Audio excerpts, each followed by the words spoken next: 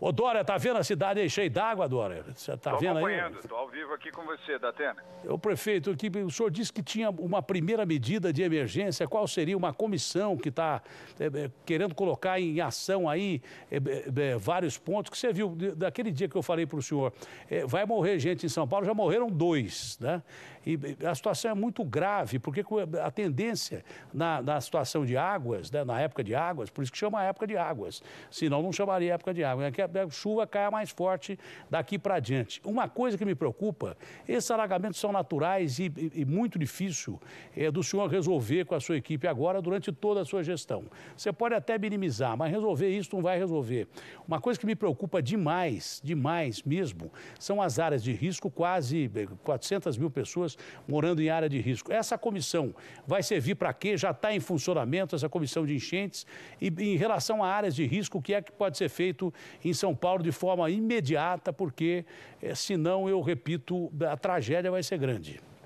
Datena, primeiro boa tarde, sempre um boa prazer tarde, estar falando com você. Estou te acompanhando como faço todo dia à tarde aqui, acompanho. Obrigado. Estou ficar ligado acompanhando você. Você defende a cidade, defende a população, é importante que o prefeito, aliás, prefeito e secretários também, sempre que possível, possam acompanhar você. De fato, você tem razão. Não há uma solução imediata e talvez até de longo prazo seja difícil. Nós temos que falar a verdade há como minorar o problema. De novo, você está certo ao fazer essa observação. Minorar o problema, essa comissão, ela já foi constituída, na verdade, antes mesmo da nossa aposta, até. Uh, final de novembro, nós constituímos uma comissão, comissão Chuvas de Verão, uh, composta por um, uh, um número bastante expressivo de instituições públicas do município e do Estado. DSV, Guarda Civil Metropolitana, Corpo de Bombeiros, Polícia Militar, Sabesp, DAE, Defesa Civil do município, Defesa Civil do Estado, um grupo bastante expressivo de pessoas, além das prefeituras regionais. O que pode ser feito de, de imediato?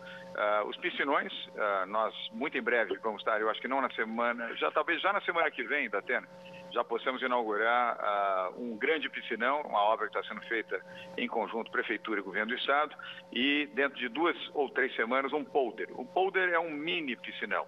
Isso ajuda, drena, essa água toda que nós estamos vendo aí na, nas imagens agora no seu programa, com os piscinões e os polders, ela drena, ou seja, você diminui muito o volume de água e fica sobre a superfície.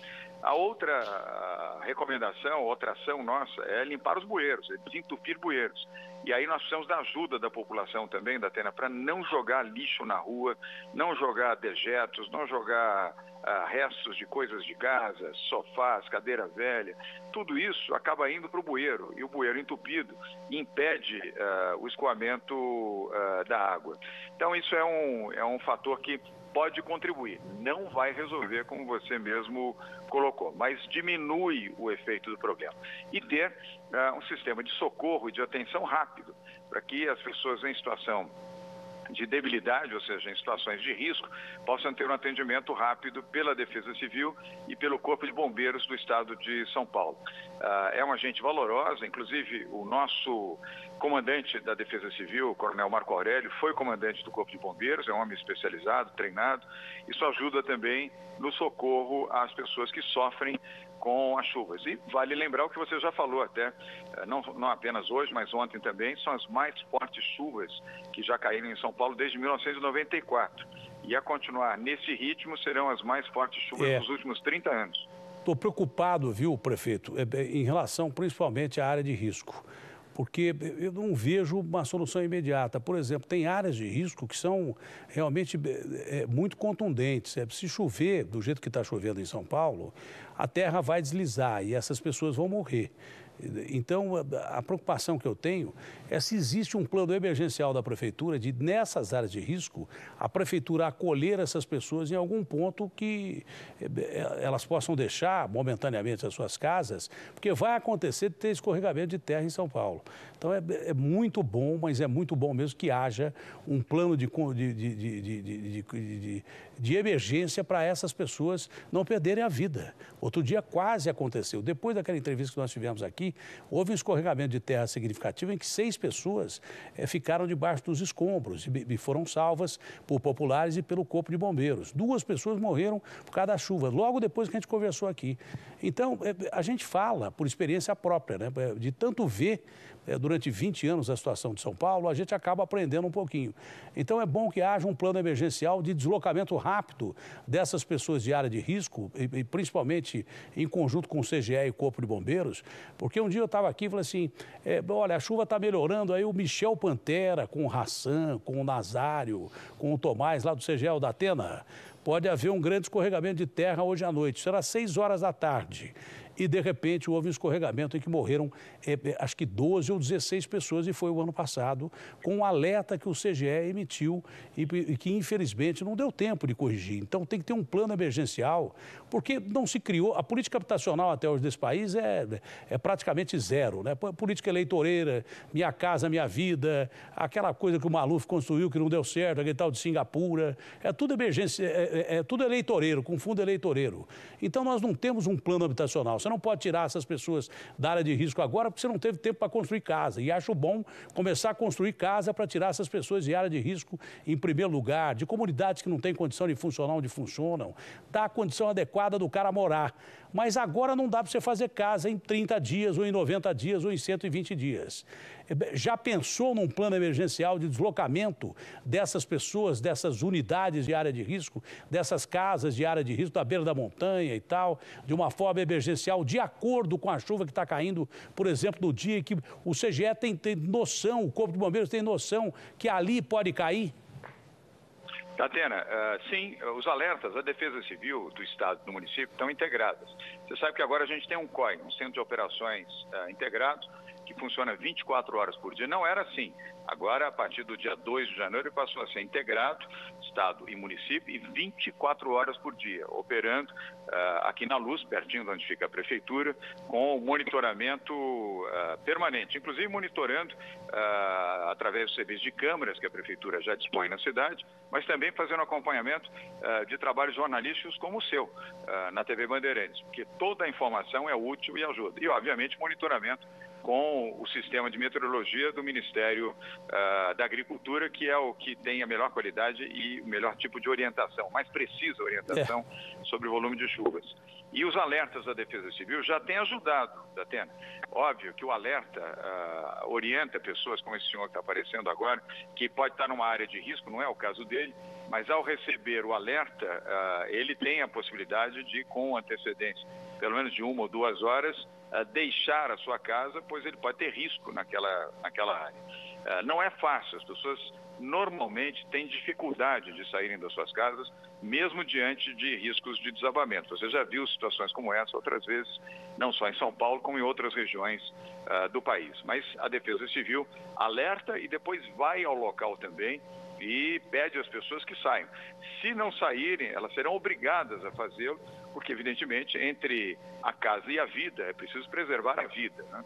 É. Agora, é, é a situação que a Defesa Civil é, utiliza através dos alertas e que tem funcionado, eu diria, bem, tanto na cidade de São Paulo como na Grande São Paulo, que também sofre muito com o temporal e os alagamentos. Você tem observado também as cidades vizinhas aqui a São Paulo, infelizmente, sofrem bastante.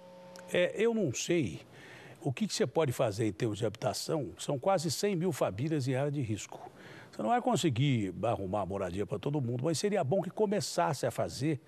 É porque você dá o alerta, assim, sai correndo. Agora vai assim, para onde? Aí o cara vai para casa do parente, ou fica do lado, ou vai para um abrigo temporário. Uma sugestão minha, primeiro, que vai acontecer escorregamento de terra, vai que vai ter possibilidade de ter escorregamento de terra? Vai. Seria bom que, é, nesses pontos considerados já mapeados como área de risco, perto desses locais, houvesse uma, uma acomodação digna para a pessoa poder passar a noite ou dia, se, se preciso, é, é, de acordo com a, a necessidade. É, é, o Corpo de Bombeiros, por exemplo, trabalha com o CGE. Vai chover aonde? Vai chover em tal lugar, já põe o carro lá perto. Já põe o pessoal lá perto. Seria bom que alguns lugares é, emergenciais fossem colocados para que essa, é, essas pessoas fossem deslocadas para ali. E depois seria bom você conversar com o seu secretário de habitação e ver se o que, que dá para construir de casa para abrigar essas famílias que o Haddad falou que ia tirar, o Kassab falou que ia tirar de áreas de risco e não tirou coisa nenhuma. Nenhum dos dois tirou. Nem o Haddad, nem o Kassab. Tem lá quase 90 famílias, 90 mil famílias, quase 400 mil pessoas em áreas de risco. Ah, mas não dá para fazer tanta casa assim é, em pouco tempo. Mas dá para começar. Tá certo, prefeito? É isso, é isso, Datena. Aliás, eh, suas colocações estão corretas. Você sabe o que fala. Aliás, normalmente, eh, sempre as suas colocações são muito assertivas, muito Obrigado, corretas. Vocês estão vendo aí imagens nesse momento, exatamente de serviço da. Deixa lá a Defesa Civil, que é importante, é que o João vai falar. Deixa eu ver. Isso, exatamente. Aí, exatamente. A, a, a, imagem agora saiu da, saiu da tela e voltou. Aí está uh, o trabalho da Defesa Civil, que contribui para a orientação a essas pessoas que vivem em áreas de risco. O que nós pedimos é que essas pessoas que acompanham o seu programa, que aceitem a orientação dos agentes uh, da, da, Polícia Militar, uh, os agentes que atuam na Defesa Civil e as pessoas é. que são voluntárias ou colaboradoras. Para que é que não. não me avisaram, essa, essa, imagem que botaram aí, a da direita é ao vivo, a da esquerda foi do Jardim Ângela. Ah, é, então. onde caiu, onde caiu terra sobre é, seis barracos ali, é, seis ou sete pessoas ficaram soterradas. Aí é, a Defesa Civil já atuando. Né? Mas é nessas áreas de risco que a Defesa Civil tem que atuar mesmo é que eu defendo que vale, no Brasil, viu, João? É, nós, infelizmente, vale mais no Brasil, o latino, vale muito mais terra do que gente. Porque quando é. vão é, reintegração de posse, manda polícia, manda cachorro, bala de gás lacrimogênio, bomba de gás lacrimogênio, bala de borracha, porque o terreno pertence ao Estado ou a algum cara que está lá abandonado o terreno, alguém vai lá e bota uma casinha e depois expulsa o cara. Aí, eu nunca vi na Defesa Civil, o cara vai lá e fala assim, oh, dá para você sair daí? O cara fala, não tem onde ir, eu vou ficar aqui. Mas essa, essa situação, apesar de dura, né, tem que ser é, respeitada, porque a pessoa tem que sair da casa, porque senão a casa vai cair ela vai morrer. Eu só defendo que essas pessoas já tenham, de imediato, um local para serem transferidas e não ter que ficar à noite debaixo de ponte com criança ou coisa parecida. Por isso que eu falei de que se mapeie esses lugares. Como já está mapeado, é fácil, principalmente os, os, os lugares de, de, alto risco, sei lá, de montar até numa situação de, de, de extrema necessidade, é, alguns pontos ou, ou, prédios que já possam ser utilizados, né?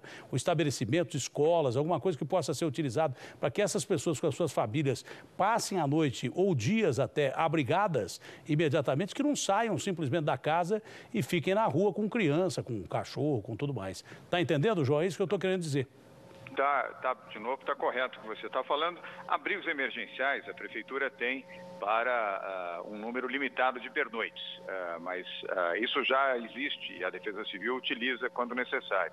O que é importante, o grande serviço que você está fazendo, Datena, mais uma vez, é alertar, orientar as pessoas que estão em áreas de risco e também orientar as pessoas que, se possível. Caiu a linha. Caiu, João, entrou água. Entrou água na comunicação. Se tiver necessidade absoluta de fazê-lo, porque o resguardo em casa, sobretudo à noite, é melhor do que você sair de automóvel, sair a pé uh, para se deslocar para algum local. Estar abrigado é razão de segurança. Aliás, a orientação não é só do prefeito, é a orientação da Defesa Civil. Então, queria aproveitar nesse final para te agradecer o apoio que você oferece à Polícia Militar, à Defesa Civil e à população da cidade de São Paulo, da Atena. Muito obrigado. Obrigado, João. Uma última pergunta. E, e, essa história da velocidade das marginais, aí, o desembargador diz que não pode, que não vai atender a, a, a sua modificação. Você já recorreu. Qual é a possibilidade da, da, da, velocidade voltar, é, voltar a ser o que era? É, é, é, caiu a liminar? Caiu a liminar? Caiu a liminar? Caiu a liminar. Ei, João, caiu a liminar hoje, eu não sabia. Isso, caiu a liminar. Aliás, era, era, era, eu tinha muita confiança que essa a liminar cairia, porque não fazia nenhum sentido, com todo respeito ao juiz que concedeu a liminar, eu claro. tinha absoluta segurança de que era intempestivo e que o desembargador, no caso foi uma desembargadora, ah, ah, de fato ocorreu. A partir de zero hora dessa madrugada, Marginal Seguro, o programa de requalificação é. uh, de velocidades nas marginais, estará operando na Marginal Tietê, Marginal Pinheiros. Peço que as pessoas tenham atenção, cuidado, zelo, respeitem a sinalização, não excedam velocidade, não bebam antes de dirigir e não usem celular enquanto estiverem dirigindo. Você vai ver a Operação Marginal Segura da Atena amanhã, ao longo do dia, toda uma estrutura de segurança, orientação, informação para as marginais em caráter permanente. Daqui para frente, é um sistema, inclusive, de garantir segurança 24 horas nas marginais. Meia-noite hoje, então, começa? Começa a Marginal Segura. É, e o seguinte, então, é, é Via Expressa, só para lembrar, 90. 90, 70, 60 e 50 na primeira, na primeira via, que é a de ingresso na marginal, ou de saída para as vias transversais. E essas mudanças de placa, isso vem com o tempo, né, João? Vem com o tempo. Não, né? serão feitas todas hoje, da Atena. Já ah, é? deixado tudo pronto. Todas, Dá tempo? Todas. Dá tempo. Pô, legal. É, dá Atena e dá tempo. Tá bom. Obrigado, tá. prefeito João Dória. Um abraço para você, Datena. Uma boa é, noite. Eu gostei, viu? O Kassab, no começo da administração dele, era assim.